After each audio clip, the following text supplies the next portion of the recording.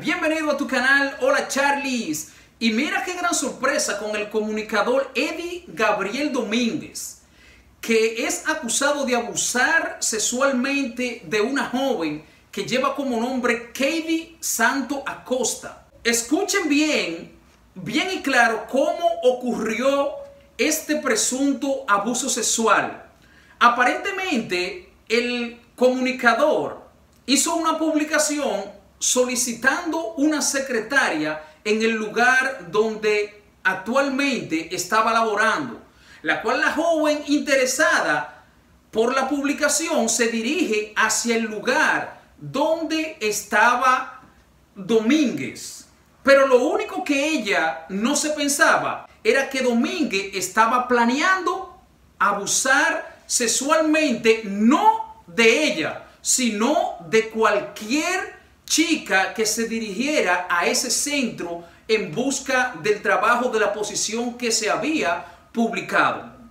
Pero gracias a Dios que las autoridades aparentemente estaban tras la pista de este comunicador porque no era la primera vez, según las informaciones, no era la primera vez que el comunicador había hecho esa misma acción, pero aparentemente las otras chicas que habían sido abusadas por el comunicador no habían tenido el valor ni la osadía como la tuvo Katie Acosta.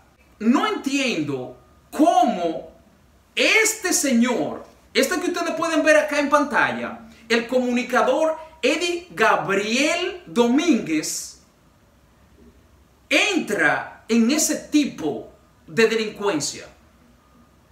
Porque me pregunto yo, ese hombre que ustedes pueden ver acá en pantalla es un hombre aparente que no tenía que llegar para conseguirse una chica de su agrado, no tenía que llegar hasta eso estribo.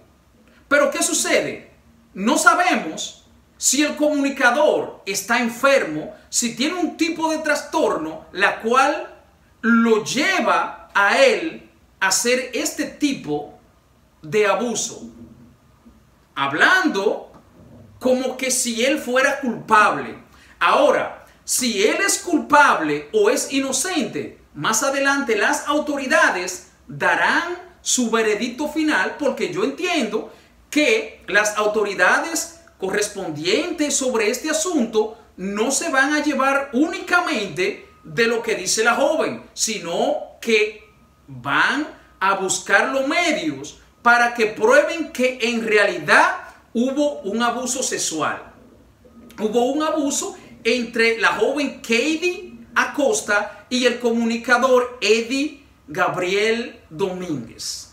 Pero más adelante, dependiendo del proceso, si tiene un desenlace, pues le estaremos comunicando acerca de este grave incidente por parte del comunicador. Y le sigo diciendo cómo sucedió la, la situación que se dio entre la joven y el comunicador, que cuando la joven llega a la oficina, al ella ver que es algo normal, una empresa normal, pues se siente bastante confiada. El comunicador, luego de eso, la lleva a ella desde la sala de espera hasta la oficina de él, donde él le aseguró a ella que podía hacer lo que él quisiera con ella porque en ese lugar no hay cámara instalada que se pueda saber si él le hizo algo a ella o no. Esos son mensajes textuales